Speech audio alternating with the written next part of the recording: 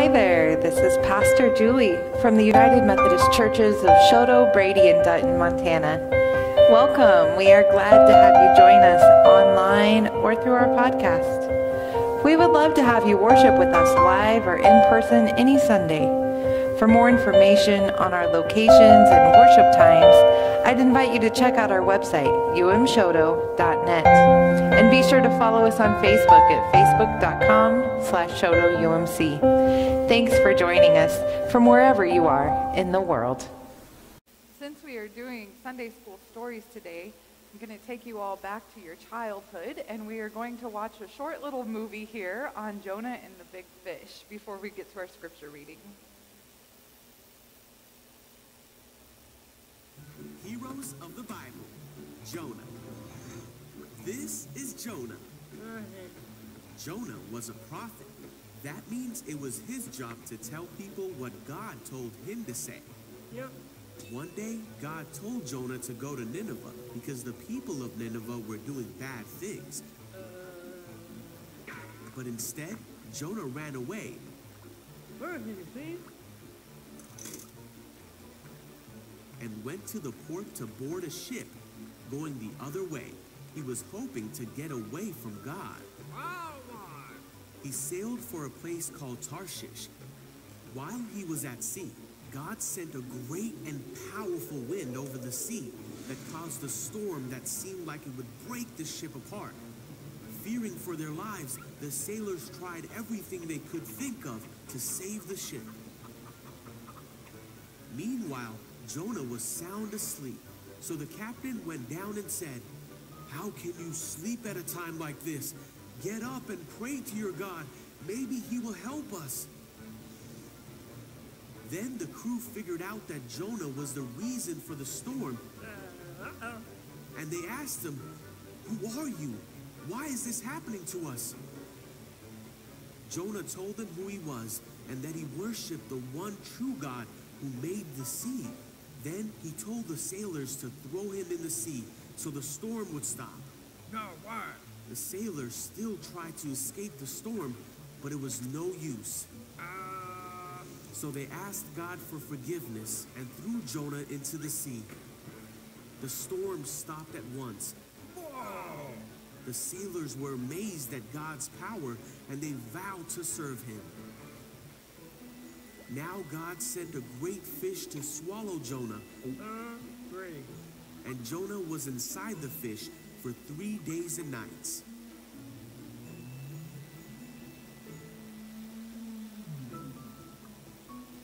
Jonah prayed to God from inside the fish, and God ordered the fish to spit Jonah out. Uh, yeah. God told Jonah again to go to the city of Nineveh to tell them what God had said about them. I get it, I get it. This time, Jonah obeyed God and went to Nineveh to deliver God's message.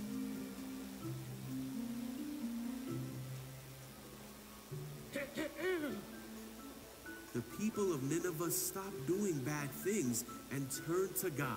They were saved because they listened to the message that God had given Jonah.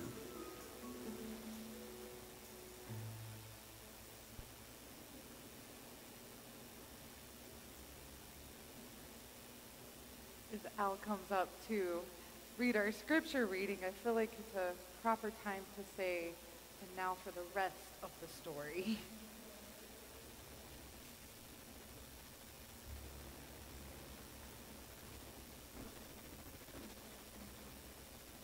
Reading is from Jonah chapter 4, verses 1 through 11.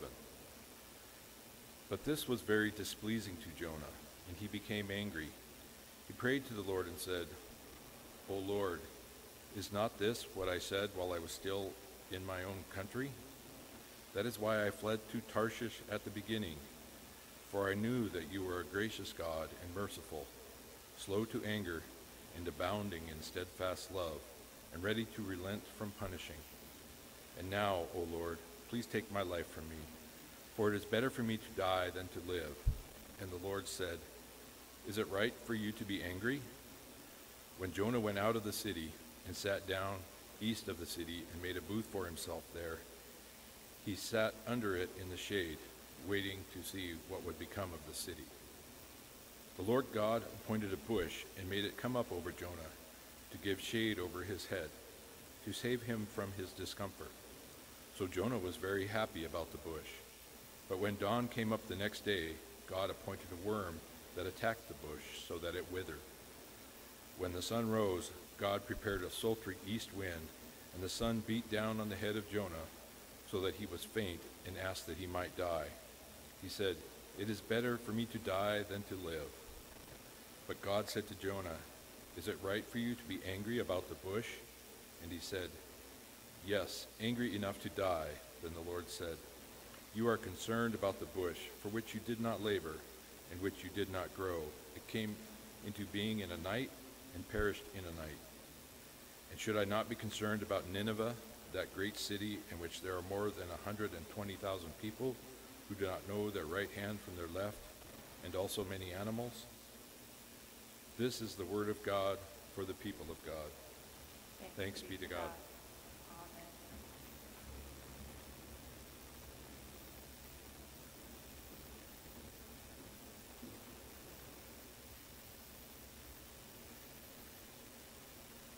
We have several teachers and staff members in our congregations that are looking forward to, well, maybe you're looking forward, I guess, to beginning a new school year. Maybe you're looking forward to a few more weeks of having a little break. But either way, I found a little story about a high school principal starting out on his first year at a new school. And um, this high school principal asked all of his teachers to write down their resolutions their New Year resolutions for the new school year.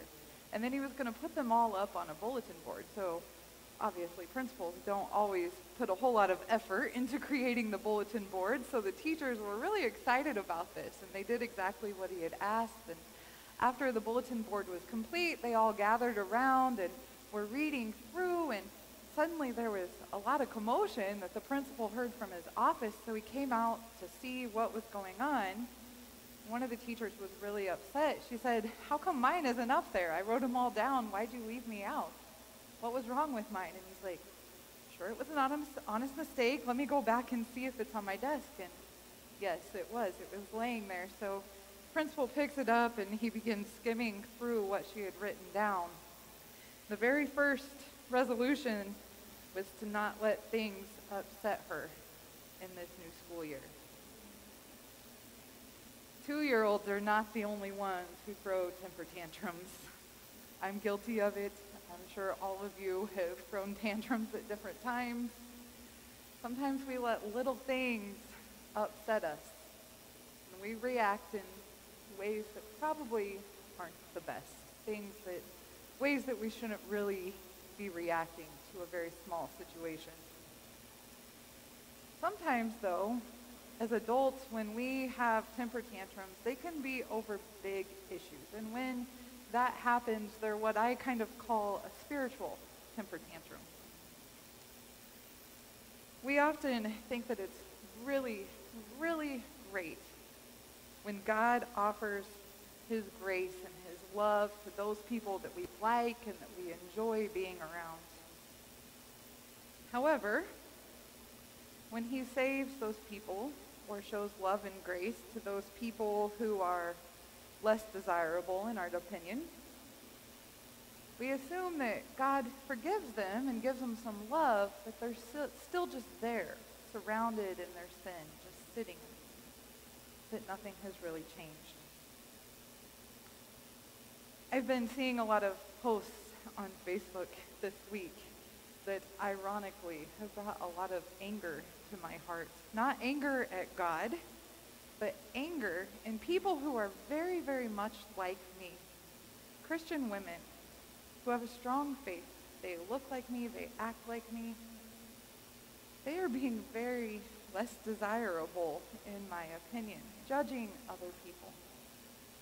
And as I began reflecting on Jonah's story this week, my response that I wanted to shout so much at them was stop being like Jonah. so I want to go through this chapter a little more in depth and tell you what I mean.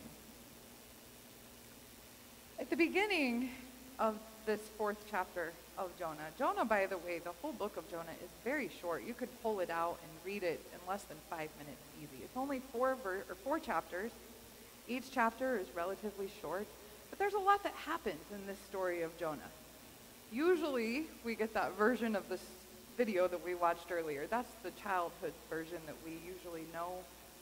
Here's Jonah. God calls him. Jonah doesn't want to go. He ends up on a boat going the other way. He gets thrown overboard.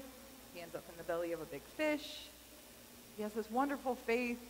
He gets out of the fish. He goes back to Nineveh. He preaches the good word, and it actually works. Every preacher's dream. They listen to him. They do exactly what he's saying, what the Spirit has told him to say, and they're all saved. Yay, the end. But the thing is, that's not the end. There's a fourth chapter of Jonah, and sometimes we leave that out. So, although Jonah's preaching and teaching had been well received, Jonah gets back and he's very upset. Very, very upset. So much so that he ends up going on and telling God, you know, I knew that it was going to be this way. I knew that you were going to be at work in these people's lives, but these are bad people, and I didn't want to go there, and so that's why I ran away to begin with. So now, since I came, and then now you're loving these people, I still think that they're bad. I don't think they deserve your love and grace. And so I don't want to go back to my own people. I might as well just die. I'm better off dead than I am alive. As I read through the opinions of what some other pastors and different scholars thought about that, general consensus was that Jonah most likely didn't want to return to his own people because he didn't want the words and the accusations of him being amongst these people of Nineveh. The Israelite people and the people of Nineveh were very much at odds with each other. They, he didn't want his parents and his grandparents judging him for being in among these people who were full of sin and talking about God with them because they weren't worthy of God's love, at least in their opinion. So then Jonah begins praying to God, and God ends up giving him this bush, is what our scripture reading says. Some of the scriptures translate it into a tree. I view it kind of as a jack and the beanstalk type thing. This huge plant ends up growing up. It's planted overnight, it grows up, and it provides him this wonderful shade. And Jonah's sitting under there, enjoying the shade, very comfortable. And then along comes a worm that it says God appoints. appoint. This worm eats the tree or the bush, and it kills it. So the next day, Jonah is then out there just scorching in the heat.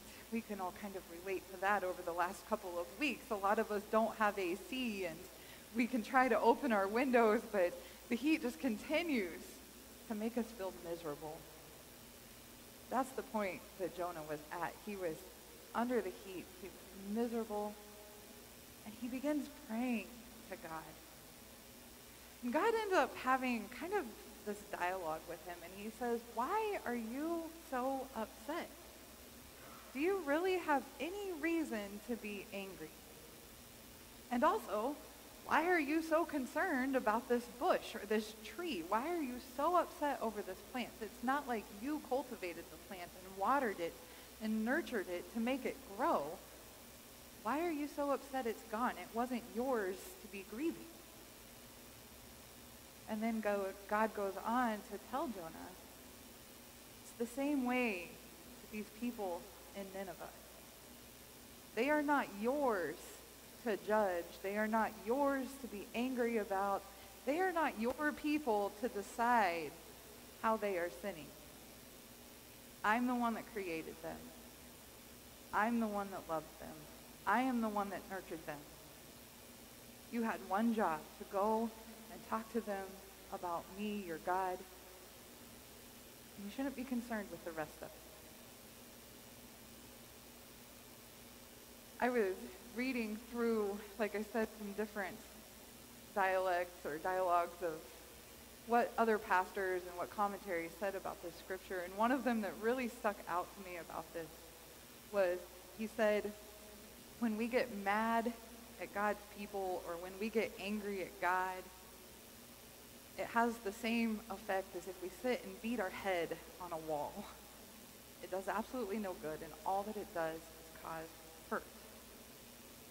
When I first read that, I kind of pushed it aside because it was a Southern Baptist pastor that said it. And I learned a quick lesson in my own self not to judge Southern Baptist pastors because I really like his point on what he said. Now, the reason I judge the Southern Baptist pastor is because I'm usually on defense because Southern Baptist pastors judge me as a female pastor. So I was kind of at odds. Well, this is the same thing that was going on as Jonah and these people of Nineveh. They didn't see eye to eye at all. But God pointed out it was not Jonah's place to judge them or decide. I mentioned to you that there were several things on Facebook that I saw over this past week that got me really fueled with anger. And I have to admit, I had to say some prayers this morning that God was not going to let me get up here and angry preach about these topics because they really did get a fire going under me. But it was enough that I felt like it was something I needed to mention. It was one of those things that I couldn't just brush aside. So all of these wonderful pages of outline notes, I'm done using them for now. Two huge topics over this last week that stood out to me are probably two topics that are going to get your blood boiling, okay? And I'm not trying to inflict anger in you, but I want to use them as an example on how they relate to our real life. One of them is abortion, and one of them is homosexuality. In Kansas, you all know that's my home state and where I'm from. They just passed a huge bill this last week. They voted no. No to the state being able to set in any type of restrictions on abortion. They said that all people were going to be able to receive the care that they needed to see. One of my very dear friends, a lifelong friend from my childhood, posted a picture on Facebook that said, Our salvation came from an unexpected pregnancy. And she was using that in her defense that the state had got it very wrong and that they should have voted yes, that abortion should not be legal and that the government should be involved. I hold my own very personal beliefs on abortion, and I'm sure all of you do too, and I'm sure that our, all of our views are very, very, very strong. We get those views and those beliefs because of what we have been taught from our Sunday school classes, from our church, from our parents, from our society, our culture that we live in. But it does not mean that our views are 100% right and somebody else's are 100% wrong. And it is not our place at all to judge another human being. We have no idea what their relationship is like with God. It is not our place to make choices for them or to dictate what happens in their life. And we can't assume that just because they say I'm a Christian, that they're over here somehow less holy than we are because they're still living in what we view as sin. So it irritated me that she had posted this. Yeah, maybe Jesus did come from an unplanned pregnancy. But there's some planned pregnancies that brought up some really bad people. There is this wasn't what the issue was about. It wasn't about unplanned pregnancy. And the words that she was sharing in the debate and the comments, I kind of wanted to get some popcorn and just sit there and read them. The things that were happening in those comments were heartbreaking. They were so hateful to each other, and that is not what we are supposed to do as Christians. Now, the other Facebook post that really got me going this week, I'm sure that several of you have seen it, but it's a post that multiple people are sharing, and it says, I feel sad for parents these days because, today because they have to explain to their children not just the birds and the bees, but they have to explain the bees and the bees and the birds and the birds and why some bees are birds and why some birds want to be bees and yada, yada, yada. And I sat there And I wanted to cry that this was the thing that Christian people, these people that shared this, I know are very devout Christians. It made me so upset that this was the judgment they were passing on. I don't care where you sit in homosexuality, you are not supposed to judge another person's life. At all. It is not up to you. You are supposed to love one another. And that is what Christ says. And the reason I think that that got me so upset, just that one little post, was because I felt attacked a mom. This is me setting apart the pastor side of me and the mother part of me. If I could set out one single goal for my relationship with all five of my children, it would be that they can come to me for absolutely anything that they have questions about. That they can talk to me about somebody who is different than them and we can talk through it and they know that it is a safe place, that they are loved 110% unconditionally. And that I will never, ever judge them. It's not sad to me that parents have to explain the real world to their children. I celebrate that parents are finally talking to their children instead of trying to shove stuff in a closet and act like it doesn't exist. This story of Jonah, it is a powerful story. The first three chapters of Jonah, they're fun, and I'm, I love teaching those to Sunday school kids. I love talking about that story of Jonah and the fish, and did it really happen, and was it a well, and that's all fun. But to me, the real point of the book of Jonah is this fourth chapter. It's the rest of the story, the part that we are really supposed to unpack. And I believe that God comes to us and says, Why are you so concerned with them? You didn't create that group of people. You don't even know them. You've never had a conversation with them to get to know them or understand their views. You just assume that the way that they're living their life is wrong. Right before I came into church this morning, I was getting ready to start our live stream, and I was scrolling through and I saw another Facebook post that I was like, man, I wish I would have seen this before because I would have put it up on a slide. It said, do unto others downstream as you would have those upstream do unto you. And that really stuck out to me. It stuck out to me a lot because there are Christians that I strive to be like, people who are wonderful role models, and I would hope that they treat me in love and generosity. These are people like my bishop, the DSs, ones that I really look up to as wonderful Christian leaders and people who I strive to do a good job as a pastor for. And I would hope that they would treat me with the love and respect that I expect that they would. But it's my job to also treat all these other people downstream with that same type of love and respect without any judgment at all. There were a few scriptures that stuck out to me this week about God loving all of his children. Can anybody guess what the first one would be? It's the most popular scripture in the world. Anybody have any idea? John 3:16. I'm going to look for it as we're going through here because I don't need my notes on that one. For God so loved the world that he gave his only begotten Son, that whoever believes in him would not perish and would have everlasting life. God loves everyone, the whole world.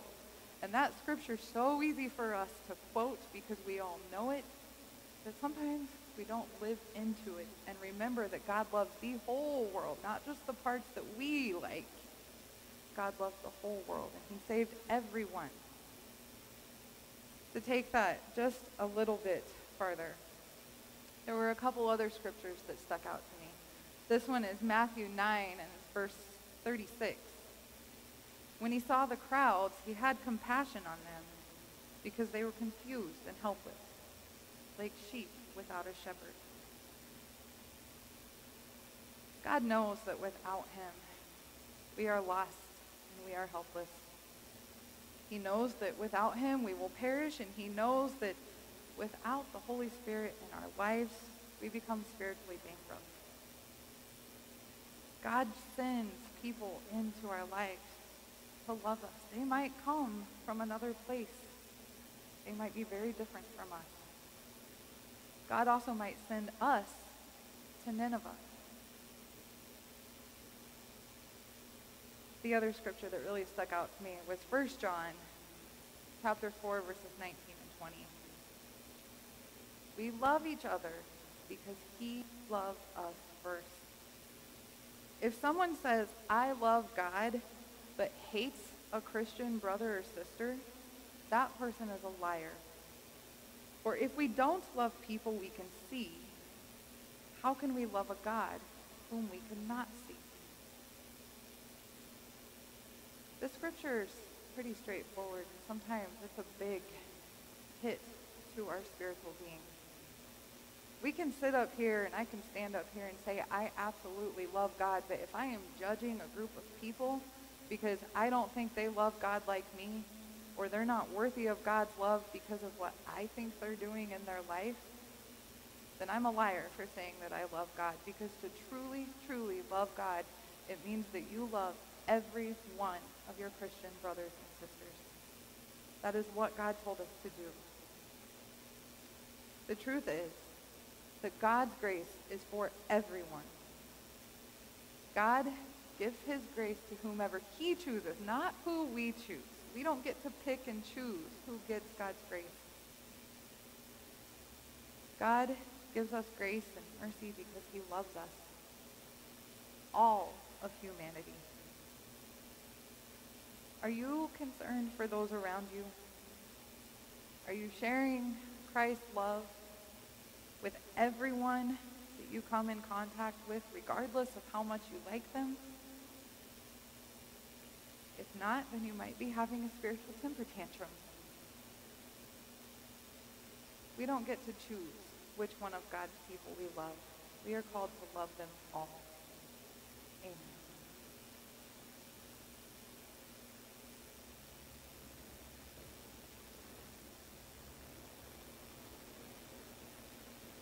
This time of our service, we prepare for probably the best thing that we could do following a message on loving each other, and that's to join in Holy Communion. And we don't just join in communion with us here in this sanctuary, but we are joined with brothers and sisters throughout the entire world. And so when I get to the point of the words of institution, I hope that you will really listen to them. Because God wasn't just speaking them to me or to you, he was speaking them to all. Let's join together in singing, Let Us Break Bread Together.